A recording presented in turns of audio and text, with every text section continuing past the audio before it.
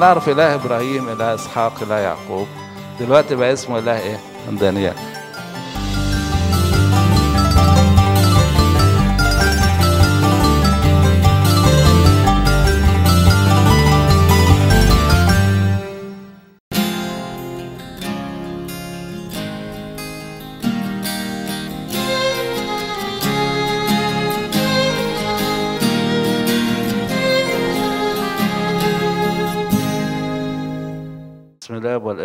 والروح القدس إله الواحد أمين. عدد عشرين. وبينما أنا أتكلم وأصلي وأعترف بخطيتي وخطية شعب إسرائيل. يبقى دانيال كان واعي وفاهم هو بيعمل إيه إن هو بيعترف بخطيته وخطية شعبه. إنسان فعلا قلبه واكله عن خلاص شعبه عن خلاص الكل. فكان بيجي يعترف عن خطيته وخطية شعبه فبيقول بينما أنا أتكلم وأصلي وأعترف بخطيتي وخطية شعب إسرائيل وأطرح تضرعي أمام الرب إلهي عن جبل قدس إلهي. خلي بالك الخطورة في الموضوع إنه دانيال بيقول أنا بتكلم عن حاجة مهمة جبل قدس إلهي. أنا لما بصلي عن الكنيسة لما يقول لك صلوا من أجل سلام الكنيسة أنت بتتكلم عن جبل قدس الله. دي دي طلبة لازم تتقال من القلب. مش تتعدى كده مش يا رب ارحم يا رب ارحم كده وإحنا مش واخدين بالنا في الاواشي فهنا كلام كلام ليه معناه عند دانيال. وأنا متكلم بعد بالصلاة إذا بالرجل جبرائيل الذي رأيته في الرؤيا في الابتداء مطارا واغفا لمسني عند وقت تقدمة المساء. طب هو كان في تقدمة وقتها؟ كانش في كانش في تقدمة. ها؟ لكن هم اليهود الأمناء احتفظوا بالطقس بتاعهم حتى وهم في السبي زي دانيال ان وقت المساء يقف يصلي حتى لو هو بعيد عن الهيكل. يعني مش أنا سبت الكنيسة ويوم الحد أنا كنت بعيد فخلاص نسيت. لا أنت عارف ده وقت خدمة وقت صلاة. اقف صلي. فده اللي كان بيعمله دانيال. فبيقول إيه؟ إذا بالرجل جبرائيل الذي رأيته في الرؤيا في الابتداء طبعا بيتكلم عن دانيال 8 16 لما بيقول سمعت صوت إنسان بين أولاي فنادى وقال يا جبرائيل فهم هذا الرجل الرؤيا. وعلى فكرة كون إن ربنا يبعت جبرائيل بالذات دي ليها معنى. ما هو في رؤساء ملائكة تانيين. بس ليه يبعت جبرائيل النهاردة برؤية سبعين أسبوع؟ ما يبعتش واحد تاني. آه لأن هو جبرائيل اللي بشر الست العذراء بميلاد المسيح وهو جبرائيل اللي بشر زكريا بميلاد يوحنا المعمدان قبل قبل طبعا ما يبشر العذراء. فلما جبرائيل راح لزكريا قال لزكريا أنا مين؟ أنا جبرائيل مش كده؟ الواقف قدام الله. زكريا ده كان شغلته إيه؟ يعني عارف عارف سفر دانيال وعارف حكاية جبرائيل. فلما راح قال له أنا جبرائيل أنا متوقع إن قلب زكريا اتهز. قال الله الكلام اللي جبرائيل قاله لدانيال نبواته ابتدت إيه؟ هتتحقق. فالكلام متصل ببعضه. صحيح في أزمنة بتعدي وسنين بتعدي لكن ربنا مش ناسي وربنا عمل خطة بلان عمل خطة تدبير عجيب. فراح بعت جبرائيل عشان هيبشر زكريا بالسبعين أسبوع اللي فيها موضوع خلاص شعب الله ومجيء المسيح. وهو نفس جبرائيل اللي راح لزكريا هو نفس جبرائيل اللي راح للست العذراء فبيقول وإذا إذا الرجل جبرائيل الذي رأيته في الابتداء مطارا واغفا و مط... آه، آه، الترجمة العربية الحقيقة فيها مشاكل كتيرة. وبالأخص يعني في إصحاح 11 لما قعدت أفوت في الترجمة العربي لقيت فيها تعب كبير قوي. آه، لكن معلش يعني وإحنا في السكة كده بن بنفهمها يعني. فكلمة مطارا يعني الطاير. طاير. بس ليه مطار؟ آه. هي بالظبط كده لأنه طاير بقوة ربنا. ف فعايز يقول لك طيرة ولا مط- مطار. آه، ماشي مبني المجهول. ماشي. فدي مطارة. واغفا. خلي بالك هو بيقول لك الرجل يعني لما ظهر ليه ظهر في صورة إيه؟ إنسانية. فواغفا بالنسبة للإنسان يعني لاهثا لاهثا يعني إيه؟ بينهج. بينهج ليه؟ آه، جاي من مشوار وجاي بسرعة وكان عنده مشاكل في السكة ودي الحقيقة إن جبرائيل كان عنده مشاكل صعبة في السكة. هت- هتيجي دلوقتي في الكلام. فبيقول إيه؟ فإذا بالرجل جبرائيل الذي رأيته في الرؤيا في الابتداء مطارا واغفا لمسني عند وقت تقدمة المساء. طبعا اللمسة فيها قوة وفيها بركة. وفهمني وتكلم معي وقال خلي بالك إن في آخر الرؤيا بتاع إصحاح 8 دانيال قال تعبير ما تنساهوش ها؟ قال كنت متحيرا من الرؤيا ولا فاهم. ف يعني ده قلبه عايز يفهم بيصلي بقى عشان يفهم. فجه فهمه بس برضه يعني العملية صعبة شوية يعني مش كل حاجة هتتكشف في عدد آه، 22 وفهمني وتكلم معي. وقال يا دانيال إني خرجت الآن لأعلمك لأعلمك الفهم. خلي بالك بيناديه بمين؟ باسمه. عشان يفهم إن الرسالة شخصية. جبرائيل جاي من السماء هو عارف رايح أنهي بلد وهو عارف هيكلم مين. وجاي له بالظبط محدده يعني مرصود الساتلايت الالهي يعني. قال له يا دانيال إني خرجت الآن لأعلمك الفهم. يعني هنا بيحكي له إن الغرض اللي أنا جاي له إن أنا جاي أعمل إيه؟ أعلمك الفهم أفهمك.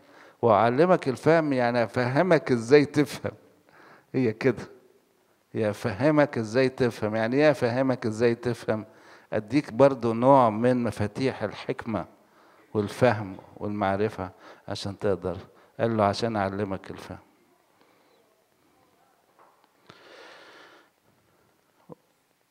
وتكلم معي وقال يا دانيال إن خرجت الآن لأعلمك الفهم. في ابتداء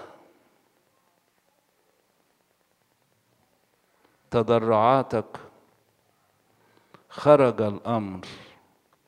وأنا جئت لأخبرك لأنك أنت محبوب.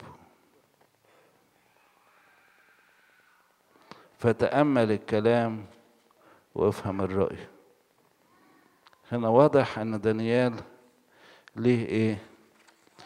آه ليه دالة خاصة عند ربنا.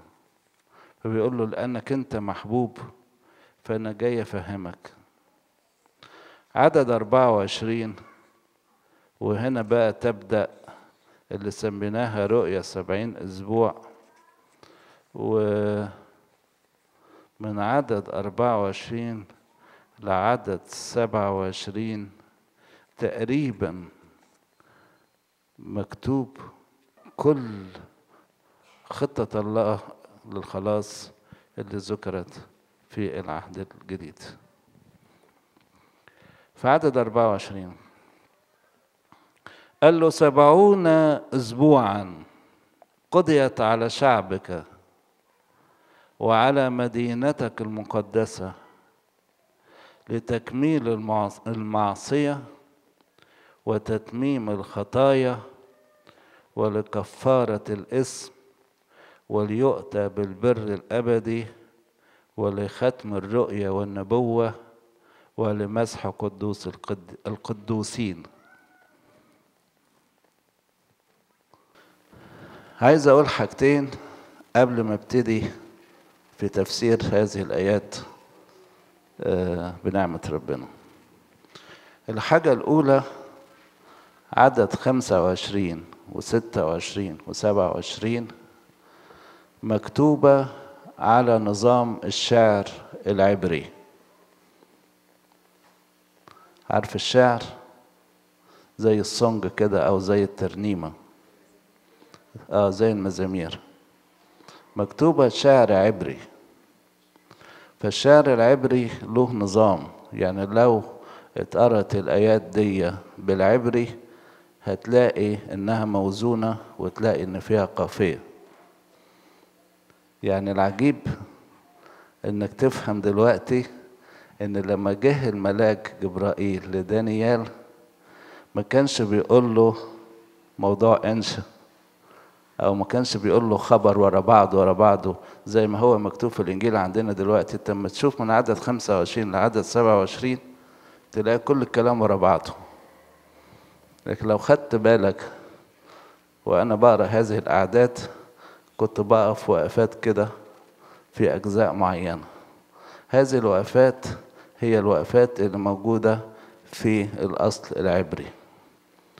يعني عايز أقول لكم إن جبرائيل لما جه لدانيال جه يقول له ترنيمة. كان بيقول له ترنيمة. فدي كانت ترنيمة بيقولها جبرائيل وبينشدها جبرائيل في أذن دانيال النبي. فلأنها شعر عبري فليها خواص الشعر العبري. إيه خواص الشعر العبري؟ أحد هذه الخواص إنه يقول الحاجة في أول بيت وتبقى الكلام عام وعلى بعضه وبعد كده يبتدي يفسرها في البيت اللي بعده وبعدين يفسرها أكتر في البيت اللي بعده. فأصبح الموضوع بقى عبارة عن ثلاث أعمدة جنب بعض. يعني الخطأ اللي وقع فيه بعض المفسرين إنهم حاولوا يفسروا الكلام ده على أساس انها حاجات بتحصل ورا بعضيها. هي مش كده. هو بيتكلم عن حاجات تحصل أو موضوع معين كأنه عمود كده ورا بعضه وبعدين ال...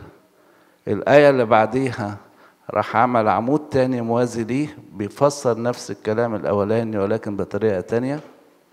وبعدين راح عمل عمود ثالث بيفسر نفس الكلام بتاع العمود اللي قبله. والتلاتة عمدان متصلين مع بعض أفقيا بموضوع واحد. وهذا الموضوع الواحد هو خلاص الله أو تدبير الله للخلاص للبشرية في شخص ربنا يسوع المسيح وكمال هذا التدبير في قبول الأمم للإيمان. لأنه بولس الرسول بيقول إن ربنا عرفني السر. يعني إيه السر؟ يعني كان في سر في الموضوع في العهد القديم لأن في العهد القديم كان الشعب الوحيد اللي يسمى شعب الله هو الشعب اليهودي الشعب اليهودي. فما كانش فيه مدخل للأمم صحيح كان فيه أفراد قلائل ممكن يدخلوا اليهودية أو يتهودوا وكانوا بيسموهم اليهود الدخلاء.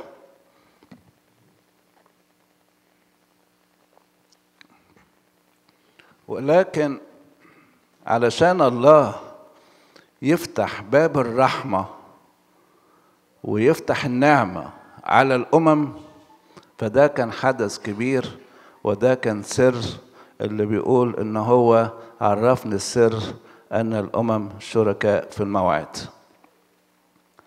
فالكلام ده كله حصل إمتى؟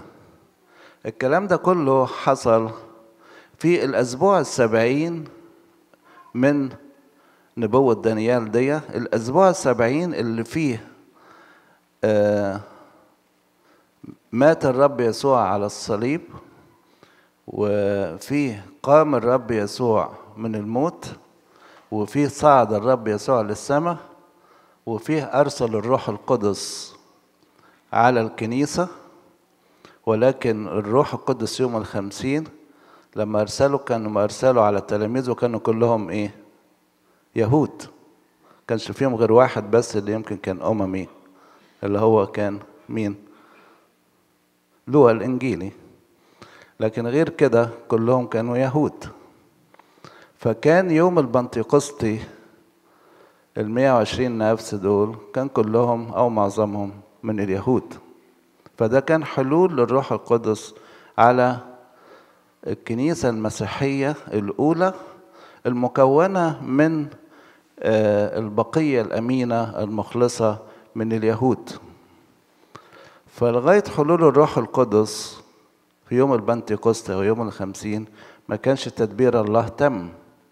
ولكن تدبير الله تم لما كرنيليوس وهو أممي شاف الرؤية وراح له بطرس الرسول وراح بطرس عمده وعمد اللي معاه وبعد كده حل عليهم الروح القدس. فبقى حلول الروح القدس ده هو الحادثة الثانية المذكورة في سفر الأعمال ولكن الحادثة الثانية حلول الروح القدس على مين؟ على الأمم أصبح هنا فرحت الكنيسة إن الله قبل الأمم في الإيمان فبقت الكنيسة مكونة من اليهود ومن الأمم وفتح الله باب المراحم بتاعته لكل الكنيسة ده اللي أنا قلته لكم المرة اللي فاتت إن إحنا وصلنا في عدد 25 إلى مسح قدس أقداس اللي هي كانت مكتوبة مسح قدس قدوس القدوسين. وقلت لكم لا دي مش مقصود بيها مسح السيد المسيح فقط ولكن مقصود بيها كمال التدبير الإلهي اللي بدأ بمسح الرب يسوع وكمل بحلول الروح القدس على الكنيسة يوم الخمسين وحلول الروح القدس على الأمم في بيت إيه؟ كرنيليوس لأن دي بتنهي فترة السبعين أسبوع في نهاية السبعين أسبوع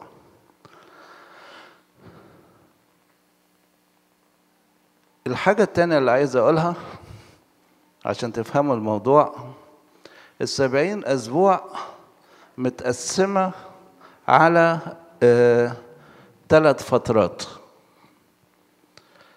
سبع أسابيع واثنين وستين أسبوع يبقى باقي كم؟ وأسبوع. سبع أسابيع في الأول وسبع أسابيع لها بداية هندرسها دلوقتي إمتى البداية؟ سبع أسابيع.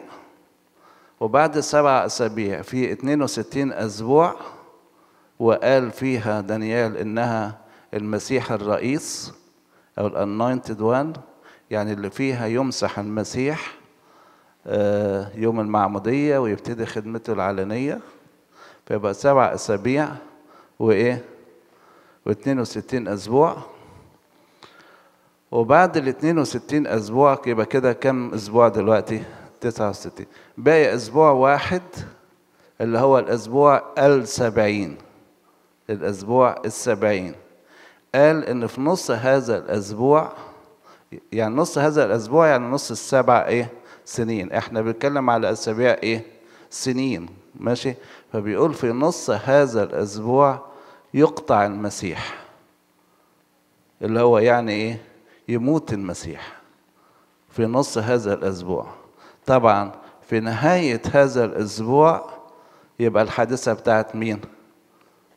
بتاعت لا نهاية الأسبوع سنين مش أيام القيامة كانت بعد في اليوم الثالث. لا أنا بقول بعد. أه؟ بعد لا ولا خرب أورشليم اللي هو حادثة كورنيليوس. حلول الروح القدس في بيت كورنيليوس. إذا كان حد يحب يكتب notes عنده في إنجيله أو معاه ورقة أنا هقول شوية تواريخ وتراجعوها بهداوة بعد كده. وقبل ما أقول هذه التواريخ أنا عايز أقول إن التاريخ الميلادي اللي إحنا ماشيين عليه دلوقتي ده نظام حديث. نظام حديث. هذا النظام لما اتوضع بدايته سنة صفر أو سنة واحد مش هي ميلاد المسيح. سنة واحد لما عملوا التقويم اتغيرت كذا مرة. التقويم اللي إحنا فيه ميلاد المسيح يمكن بعضكم يعرف الحكاية دي أول مرة مش سنة واحد ميلادية سنة أربعة قبل الميلاد ثلاثة أو أربعة. غالبا هي أربعة قبل الميلاد. أربعة قبل الميلاد ده سنة ميلاد السيد المسيح حسب التقويم الحالي. اللي يحب يكتب السبعين أسبوع ابتدت سنة 457 قبل الميلاد. سبع أسابيع أول فترة. نعم. من أول فين؟ طيب. إحنا قلنا إن حسب التقويم الحالي سنة ميلاد المسيح دي ملحوظة. ما هياش في الخط البيان اللي هتتصوروه دلوقتي. ملحوظة يعني إن سنة ميلاد المسيح هتطلع سنة أربعة قبل الميلاد. مش سنة واحد ميلادية زي ما أنتم متوقعين. السبعين أسبوع هتبتدي زي ما نشوف دلوقتي سنة 457 قبل الميلاد. 457 قبل الميلاد. ماشي؟ بعد كده في فترة سبع أسابيع فترة سبع أسابيع يعني كم سنة؟ ها؟ نو نو سبع أسابيع. سبع سبعات يعني تسعة وأربعين يعني تسعة وأربعين سنة. إحنا اتفقنا إن اليوم بسنة المرة اللي فاتت. تسعة وأربعين سنة دي أول فترة وهي فترة استعادة أورشليم وتجديد الهيكل وتجديد أورشليم. ماشي؟ 49 سنة. بعد كده 62 أسبوع يعني 434 سنة هتوصلنا لسنة 26 ميلادية. يعني 49 سنة زائد 434 سنة هتوصلنا من سنة 457 هتوصلنا لسنة 26 ميلادية. وسنة 26 ميلادية دي فيها ابتدى الرب يسوع خدمته العلنية بعد المعمودية ومسحه بالروح القدس بالجسد. ماشي؟ يبقى سنة 26 ميلادية هي بداية الأسبوع اللي رقم كام؟ ها عايز ناس مصحصحة. ها. لا لا مش النص. بداية الأسبوع السبعين. بداية الأسبوع السبعين. ألف نص الأسبوع هيقطع المسيح والحقيقة اللي حصل إن السيد المسيح فعلا آه مات على الصليب بعد ثلاث سنين وشوية من المعمودية. فدي هتوصلنا من سنة 26 ميلادية توقيت الصليب سنة 29 ما بين 29 و 30 ميلادية. ليه التاريخ مش محددة بالنسبة لنا لأن اختلاف التقاويم وتعديل التقاويم خلت الواحد بيتلخبط في التواريخ. يعني الكلام اللي أنا بديهولكوا دلوقتي ده ده خلاصة دراسات كتيرة قوي قريتها عشان أوصل لهذه التواريخ. إحنا ما يهمناش التواريخ قوي لكن يهمنا إيه اللي حصل بالظبط وإزاي يتحقق بالظبط. لكن برضو للمعلومات أنا حبيت أديها. فده نص الأسبوع السبعين. آخر الأسبوع السبعين يبقى سنة لما يبقى ستة وعشرين ميلادية. يبقى آخر أسبوع السبعين يبقى سنة كام؟ ها؟ ستة وعشرين. زائد سبع سنين. ما هو الأسبوع يعني سبع سنين. يبقى سنة 33 وده ميعاد حلول الروح القدس في بيت كرنيليوس اللي هو بداية دخول الأمم في؟ في الإيمان وفي هذا التاريخ ابتدأ ما يسمى بأزمنة الأمم يعني دخول الأمم في الإيمان ده بالنسبة للتواريخ